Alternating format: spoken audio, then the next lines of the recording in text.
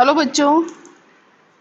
देखिए, आज हम जो कविता पढ़ने जा रहे हैं, उसका नाम है कन्यादान और कन्यादान ऋतुराज जी की लिखी हुई कविता है। ऋतुराज जी का थोड़ा परिचय देख लेते हैं हम। ऋतुराज का जन्म सन 1940 में भरतपुर में हुआ। राजस्थान विश्वविद्यालय, जयपुर से उन्होंने अंग्रेज़ी में एमए किया। 40 वर्षों तक अंग्रेज़ी साहित्य के अध्यापन के बाद अब सेवानिवृत्ति लेकर वे जयपुर में रहते हैं। उनके अब तक आठ कविता संग्रह प्रकाशित हो चुके हैं, जिनमें एक, मरण धर्मा और अन्य, पुल पर पानी, सूरत तीरथ और लीला मुखारविंद प्रमुख हैं। उन्हें सोमदत्त, परिमल सम्मान, मेरा पुरस्कार, पहल सम्मान तथा बिहारी पुरस्कार मिल चुके हैं।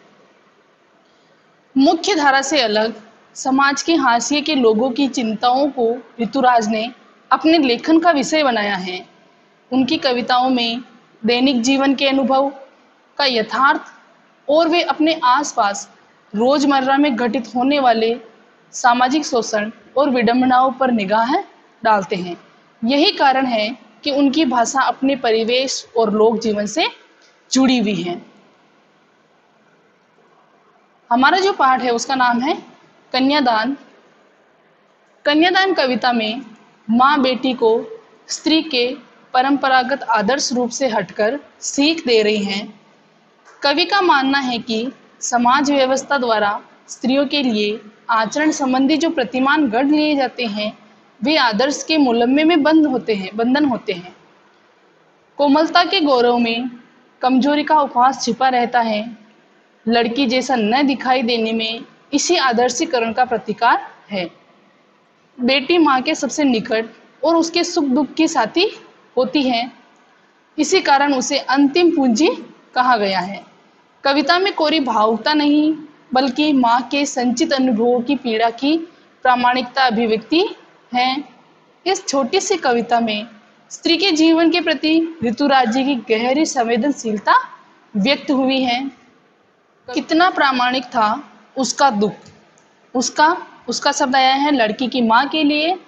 लड़की को दान में देते वक्त जैसे वही उसकी अंतिम पूंजी हो। यानी कि जब लड़की का कन्यादान हो रहा है तो उसकी माँ का दुख कहने की बात ही नहीं है। इतना दुख उसको होता है कि जैसे वो अपने जीवन की जो सारी पूंजी है, अपने जीवन का जो सारा अर्जन किया हुआ है, वो क्या कर रही है? दान में दे रही है। तो लड़की के कन्यादान के समय उसका दुख जो होता है, वो हम सबको पता है। उसकी माँ को क्या दुख था कि लड़की अभी सयानी नहीं थी, अभी इतनी भोली और सरल थी कि उसे सुखा आवाज़ तो होता था, लेकिन दुख बाँचना नहीं आता था।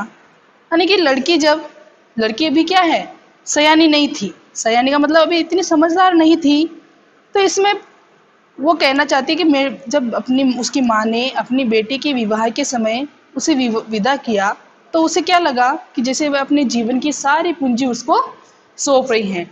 उस समय उसका दुख स्वाभाविक ही था, क्योंकि माँ से ही अपने सुख दुख की बात कहती है अपनी बेटी। माँ दुखी इसलिए थी कि क्यों इसकी पुत्री क्या थी अभी? सयानी नहीं थी, समझदार नहीं थी।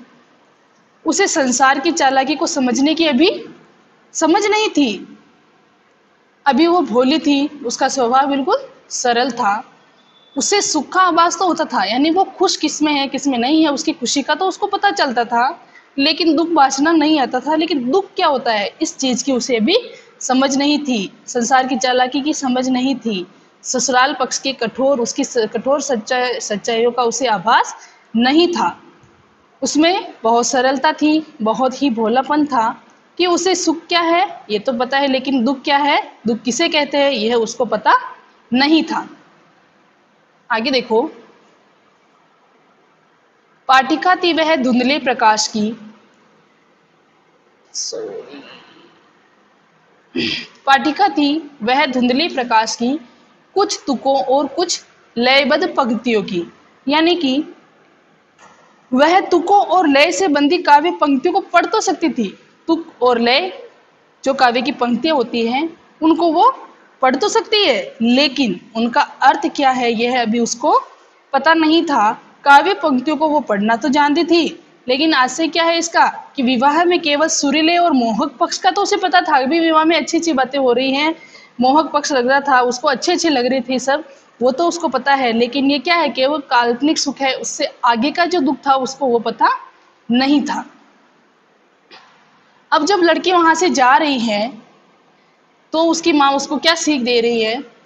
कि माँ ने कहा, पानी में झांकर अपने चेहरे पर मत रीझना। अपनी बेटी को वो सीख देते हुए कहती है कि जब भी तुम पानी में अपने आप को देखो तो अपनी सुंदरता के ऊपर खुश मत होना कि मैं इतनी सुंदर हूँ। अपने सौंदर्य पे प्रसन्न मत होना। आग रोटियाँ सेकने के लिए हैं, जलने के लिए नहीं। साथ ही उसको वो सावधान करती हैं और कहती हैं कि आग से भी तुम्हें सावधान रहना है। जिस आग से रोटियाँ सेकी जाती हैं, वही आग जलाने का कार्य भी करती है।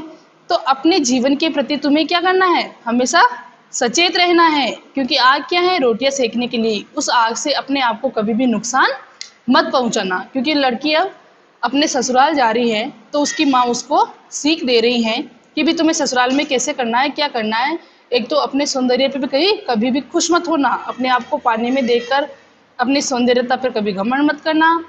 आग रोटियाँ सेकने के लिए है, उस आग से तुम अपने आप को कभी भी नुकसान मत पहुंचाना। वस्त्र और आभूषण, शाब्दिक भ्रमों की तरह बंधन है स्त्री जीवन के। इतना ही नहीं, उसकी माँ अपनी बेटी को आभूषणों के प्रति कह रही है कि भाई जो आभूषण है, वो क्या है? स्त्री के लिए एक कमज़ोरी है। और उस कमज़ोरी को तुम कभी उभरने मत देना।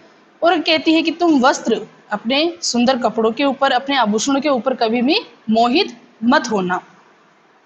आगे देखो, माँ ने कहा, लड़की होना पर लड़की जैसी दिखाई मत देना।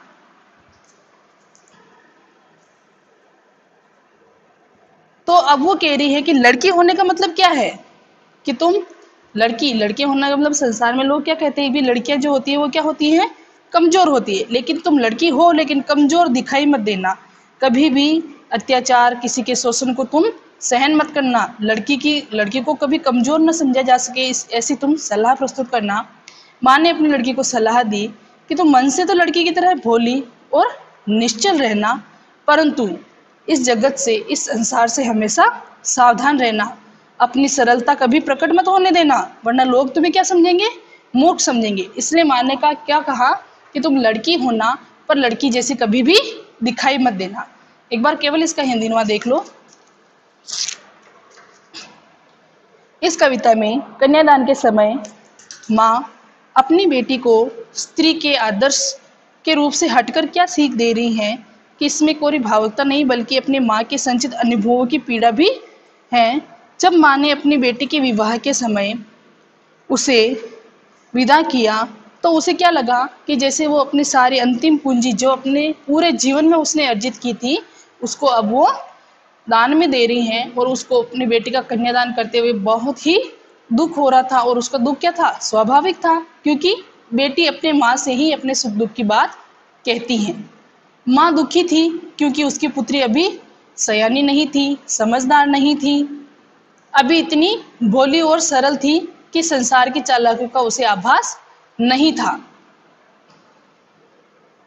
सुख तो उसे पता चल रहा था, खुशियाँ उसे हो रही थी, लेकिन उस खुशी के बाद उसे किन किन कठिनाइयों का सामना करने पड़ेगा, वो बातें उसे अभी समझ में नहीं आ रही थी। उसमें सरलता थी भोलापन था, सुख क्या है यह उसको पता भी था, किंतु दुख किसे कहते हैं, यह अभी उसे कुछ पता नहीं था।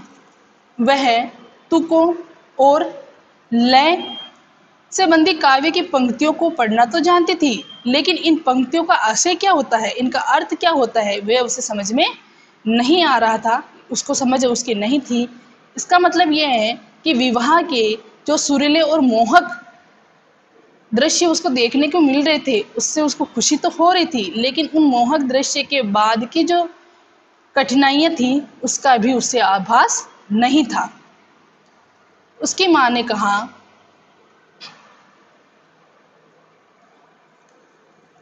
माँ कहती हैं कि बेटी जब तुम पानी में देखो तो अपने सौंदर्य पे कभी भी प्रसन्न मत होना। साथ ही उस आ, उसे आग से भी सावधान करती हैं और कहती हैं कि जिस आग से रोटियाँ सेकी जाती हैं उससे तुम हमेशा सावधान रहना उस आग से कभी भी जलना मत।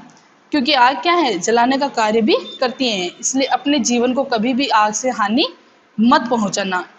इसके बाद माँ अपनी बेटी से कहती हैं कि आभूषण और वस्त्र, जो क्या है, स्त्री के लिए मोह के बंधन है।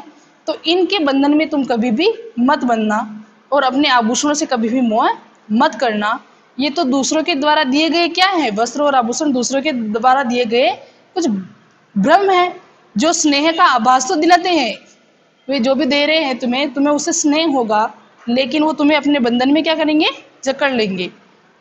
ससुराल में रहकर तुम हमेशा लड़की की मर्यादा में रहना, मर्यादा भरा आचरण करना, लेकिन सामान्य और कमज़ोर लड़की की तरह कभी भी अपने ऊपर हो रहे अत्याचार को सहन मत करना।